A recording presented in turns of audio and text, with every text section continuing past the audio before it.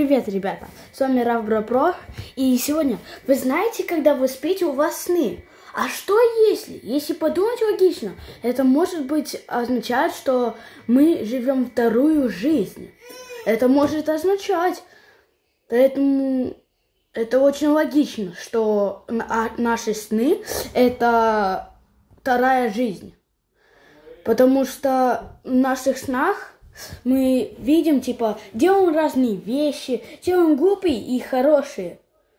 И это почти как наша обычная жизнь. И я так думаю, что это наша вторая жизнь. В общем, в комментах э, подум... эм, напишите, если вы так думаете. Всем пока-пока.